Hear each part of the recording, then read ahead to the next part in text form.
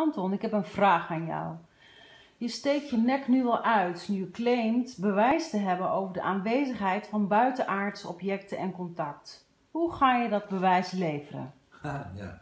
Nou, dat bewijs lever je uiteraard door de feiten die je in de laatste 33 jaar hebt verzameld. Uh, als meldpunt zijn er natuurlijk heel veel Noorderlingen bij me geweest. En dan praat ik echt, en dat zijn ook echt duizenden, die uh, mij dingen hebben verteld, beelden hebben aangeleverd en al dat soort dingen. Dus ik kom met feiten naar buiten en uh, ja, dan heb je het in eerste instantie gewoon puur over de objecten. Maar er is natuurlijk bij heel veel mensen is nog veel meer gebeurd. En dat is heel bijzonder. Want die zagen eerst de objecten en daarna kwam het contact in feite naar boven.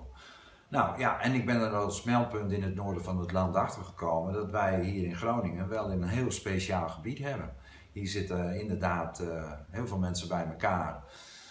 Op een vrij korte afstand van elkaar die, uh, ja, die wat meer weten. En Groningen is uniek, dat hebben we gezien bij de sleepwet. Het hele noorden, noorden die staat wat dat betreft op dit moment gewoon op zijn achterste poten. En ik weet dat er veel mensen in Groningen op de, hun achterste poten staan, die willen graag de waarheid naar buiten brengen. En we hebben meer feiten als Roswell, dat heb ik ook in een stuk gezet. Dat is gewoon absoluut een, uh, een gegeven. Dus uh, we gaan er gewoon voor. En waarom ik het doe, dat wil ik ook nog wel even zeggen. Omdat ik er gewoon zat van ben van al die ellende. Wat ik op dit moment om me heen zie. Ook als ik naar het nieuws kijk, waarin de mensen zo worden vastgehouden in deze realiteit, is het gewoon van ongelooflijk belang dat de mensen bewustmakende informatie krijgen. Wat hun een beter inzicht geeft in alles. En wij kunnen dat inderdaad doen. We hebben het bewijs.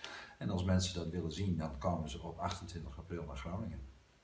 Hey, jij zegt dat er contact is met buitenaardsen. Hoe ziet dat eruit? Nou, dat contact met buitenaardsen, dat heb ik ook beschreven. Dat staat in een stuk op de website. Daar kom ik ook uh, morgen. Uh, komt er een deel 2 over wat er zich in Groningen zich voltrekt. Even in het kort, het is heel simpel. Uh, heel veel mensen zien objecten. 1 op de 5000 mensen die, uh, die meldt dat maar. Dus dat is maar heel veel mensen zien die objecten. De een die denkt dat het een vliegtuig is, de ander denkt dat het een drone is. En, uh, maar er zijn ook mensen die weten donders goed wat het is. Want daar ben ik wel achter gekomen dat UFO's zich met name melden bij die mensen die ook een bepaalde innerlijke kennis hebben. En als je dan voor de eerste keer dat meemaakt en dat ziet, dan sta je ervoor open of je klapt gewoon dicht. Dat je hebt UFO's en dat soort dingen, je gelooft het niet. Je probeert het te rationaliseren. De mensen die zich ervoor open hebben gesteld en die zelf onderzoek hebben gedaan, ja, daar is iets mee gebeurd.